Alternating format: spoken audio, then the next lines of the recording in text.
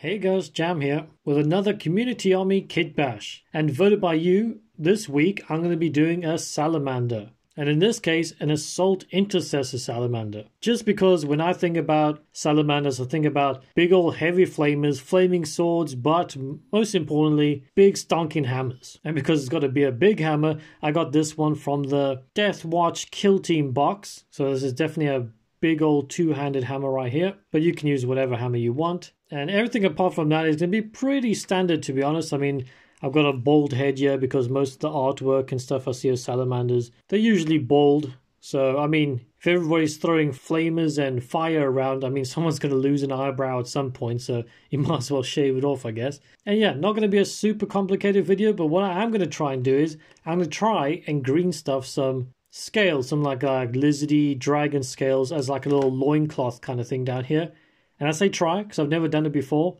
I don't have any special tools for it, so I'm just going to use my hobby knife and I'm going to be completely winging it. So yeah, if you want to see me possibly fail, most likely fail, then stay tuned and let's get cracking. Obviously, the first thing you got to do is clean up the model that you're using and all the bits and stuff. So I'm going to get that done.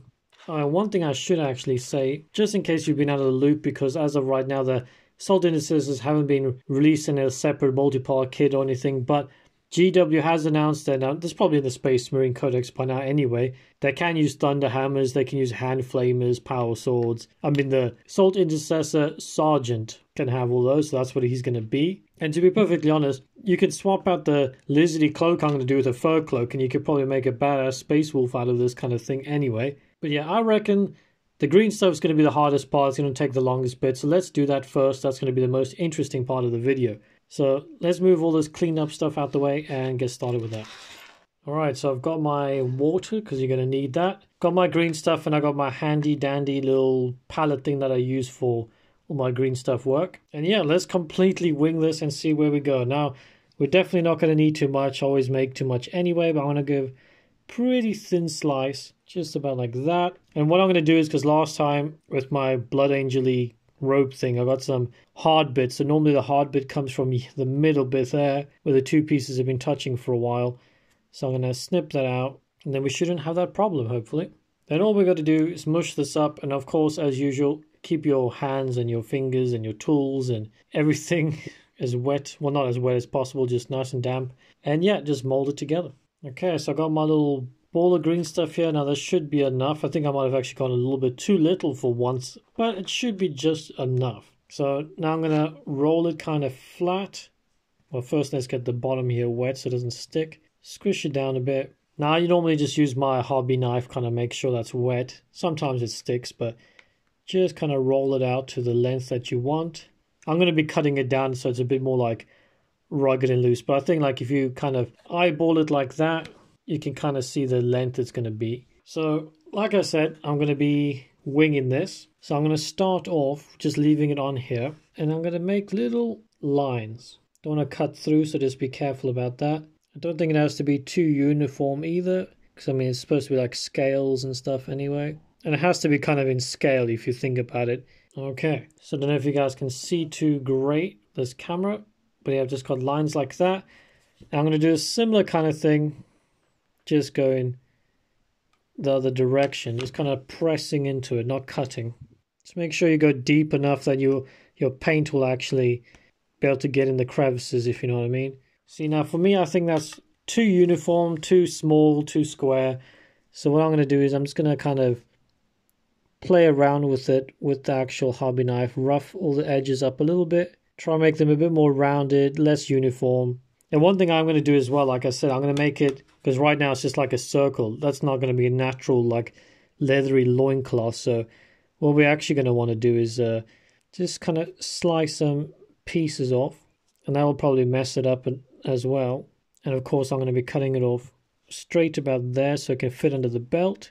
It's looking a little bit more natural loincloth kind of vibe, but I'm still not really liking the whole uniform tiny little line. So, like I said, I'm going to go back in, maybe make some deeper crevices like this in the middle, maybe.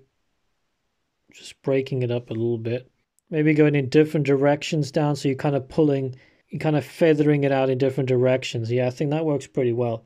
I don't know if you've ever done like fancy decorations on a cake where you make like a line through some like puree or something. This is probably not relatable at all for you guys, but you just go in opposite directions on each line and it kind of pulls the green stuff in different ways and gives it a kind of wavy kind of different vibe to it. So that's kind of what I'm doing now, just roughing it up opposite ways on each line.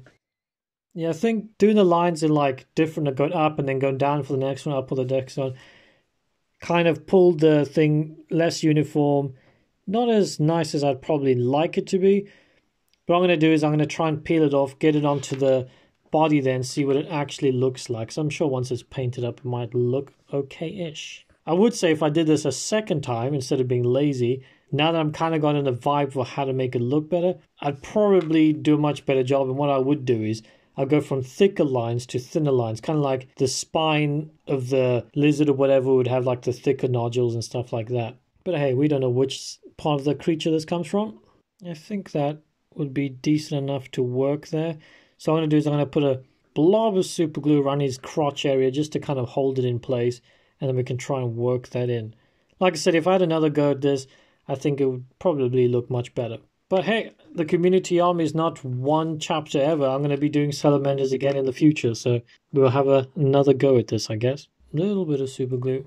Get your tweezers. Not try not to destroy the kind of pattern you've made.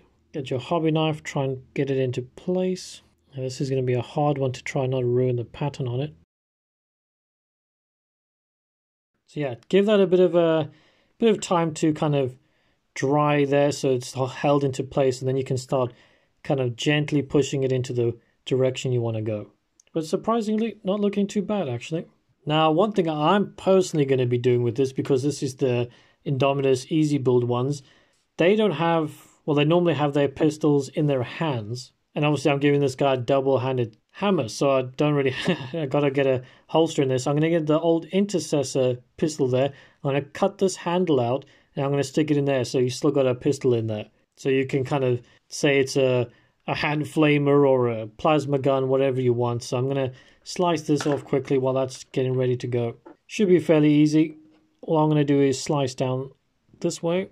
Yeah, slice straight down here. Slowly work my way down this section here. And there you have it. Easy peasy. So if you wanted to kit bash the monopose kind of guys and you want to get a pistol hol- a pistol into the actual holster, that's a really easy way to go about it. So I'm going to just glue that in quickly because yeah just should be fairly simple hopefully and there you have that super simple there's a bit of a gap down there but i mean it looks decent enough because i think these pistols are, are a lot bigger and chunkier than the normal intercessor ones but it looks the part so he's not missing a pistol in his pistol holster now and this has been sat for about five minutes five minutes ish and that should be ready to start moving it around now yeah, so all we want to do is kind of get the movement right. So obviously his legs up here is running, so you want it kind of coming down this way a bit. Maybe you can fold up that bit. Obviously this part here is a bit, need to try and stretch this out a bit. Get the tweezer action going on. I think it needs to get tucked into the belt a little bit.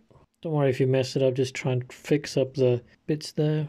And to be honest, I don't think we need to move it much more than that. Normally with like fur, I try rough up the edges and stuff, but this is more like a leathery scale. So I think that's looking pretty decent. I mean, you can, like I said, you can fold this up, you can make it longer so it's flowing in the wind a bit more, but with what we have here, I think that's actually pretty decent. You can just you can try lift it up there a bit more, but I think sitting on there is stronger and it looks pretty good. Just lift these bits so they're blowing that way. That's looking pretty salamandery to me. Now with that done, I'm actually going to stick him to the base now because I don't think there's much more on the bottom area that I'm going to want to do. Okay, I've propped the brightness up on my lamp here quickly just so you guys can get a nice strong definition of the kind of scaly vibe going on there you can see it a lot better there. And I think for a first ever attempt, and the way I did it, super, super simple. You guys can do this in like five seconds, and you got a pretty decent result, to be perfectly honest. You can get your army green stuffed up, salamandered really, really easily now. But yeah, let's get on to the final bits, and then we'll do some accessories and get onto the showcase.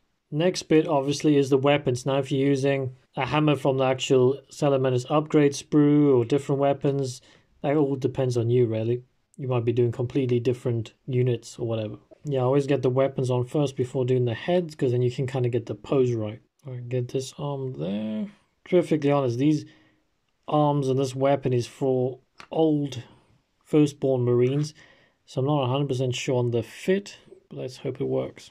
And before those arms dry, let's quickly get the weapon in there so we can start moving things around. So let's first get into there. And there we have it. That actually fit pretty perfect, to be honest. There's not really any gaps there that I've spotted yet.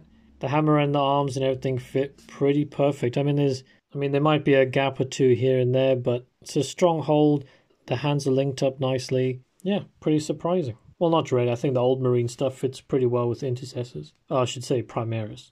And now on to the most important part of any kit bash, like I always say, and that's the head swap. Now, of course, it like I said, if you want to make that loincloth longer, put on the shoulder pad, do whatever you want, you know, maybe it'll stand out a bit more, but I think that's I think that's pretty good. I'll stick a little bit of glue in here. Like I said, I'm going for the bald dude and just pop it in there. And obviously because he's running this way, gotta get his head looking around here. Okay, so there's his head. If in doubt, always try and get the head facing the same direction as the feet, if that makes sense, because you know you kind of run, you you move the way you look, if you know what I mean. So that head and that foot should be like pretty lined up there. But yeah, that's the, just generally the way I kind of try and get some decent movement. I mean, this one you could probably tilt it a bit more, but anyway, like I said, you guys probably not doing the same model as me, but it's just little tips and things I think about when kit bashing. So all I got to do now is put the shoulder pads on. Obviously, if you're not doing Death Watch, then you're just going to put the Salamander one here or do your transfer sheet there. But because I'm doing mine Death Watchy, I'm going to be gluing a Death Watch shoulder pad on that side. And there we have it, guys. Got my Death Watchy shoulder pad on, my Salamandery one, got my backpack on and everything like that. Now you could pretty much leave it here if you wanted to. We've got the reptile cloak, we've got the hammer, we've got an acceptable head and everything. But I want to take it up a notch. Now with salamanders, they're quite often covered in like bones and skulls and stuff like that. But I'll be looking through my bits box and I haven't really got anything that will quite fit. So I'm not sure if I'll be doing any of that. But what I am going to do is I'm going to add some chains onto this guy. So going from like this belt here, I'm going to have a chain going down there and another one going down here as well, like a slightly longer one. So two chains on there, possibly some, I don't know, skulls on the backpack. I'm not really sure yet. I mean, you can even have some jawbones hanging off the chain. But first, let's get onto the chain work. But like I said, if you're happy with this, this is all you have to do. I mean, the green stuff cloak is the main part, really. Now, if you watched my last video with doing the Black Templars, you'll probably know what I'm going to be doing here, but just in case you haven't watched it, all you want to do is put a dab of super glue roughly where you want it, which is round about there for me. It's probably way too much super glue there. Then you want to dangle your first kind of like link into it, and then you want to kind of let it set and dry there before you start wrapping it around and moving and stuff like that so it has somewhere to hold on to. So I'm going to pop this one right into the corner there if I can. Okay, so it's not quite where I want it to be because the glue's already setting on this bad boy, but we'll hopefully make it work. Now, what you want to do is get it roughly to where you kind of think you want it. So I want to get it dangling a little bit like that. I think I'm going to cut it around about there so you've got the length that you want. Now I'm just going to put a dab of super glue down there, use my tweezers to kind of get that chain into place. Okay, way too much super glue coming out of this thing. Okay, a bit too much super glue there. It's kind of hardened my chain up before I wanted it to. I wanted it to be a bit more dangly. But now I'm going to put it same place again on top of the same link. But I'm going to do a slightly longer one. So let's get a hopefully a tiny drop of super glue onto this. Alright, so we got our chain roughly kind of where we wanted it. Didn't turn out as nicely as I planned. Too much super glue going everywhere and whatever. And by the way, it's a 1.5 millimeter by 2 millimeter chain, I believe it is. But like I said, if you watch my kit bashing Blade Guard veteran guy, you'll see that anyway. Just wanted to add a bit of extra spice to the model. And maybe once it's painted up, it'll look a little bit better. I do feel like it needs something around the back area, maybe some bones or whatever. But you know what? A good old purity seal here or there kind of always does a trick for me. Now to make sure your chain stays in place and it doesn't dangle around, normally you want to get a toothpick or something, but I'm going to use the end of my tweezers here, dip it into your super glue, get a little bit on there, and just dab it onto the chain in between the links and stuff like that, and it'll kind of set it in place. Just make sure you have it where you, you want it before it sets. So I want this one dangling as far down as possible because he's obviously running around. Once it sets, that should be nice and rock solid there. It's not going to go anywhere, and you've got some pretty badass emo chains hanging off your salamander. Like I said, now if you want to hang off some bones or something like that, I'm going to play around with that. If I can't come to anything I quite like, then I'm just going to cut straight to the showcase for you guys.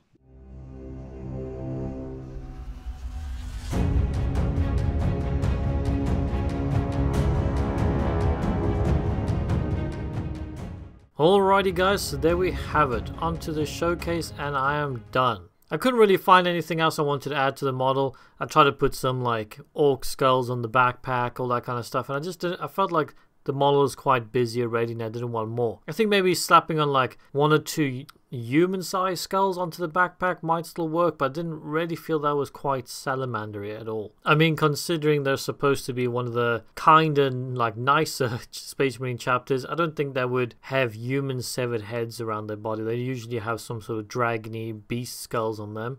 And of course, if you got the Primaris Salamanders upgrade sprue, you kind of got that flamey backpack thing you could add on there as well if you want the extra spice.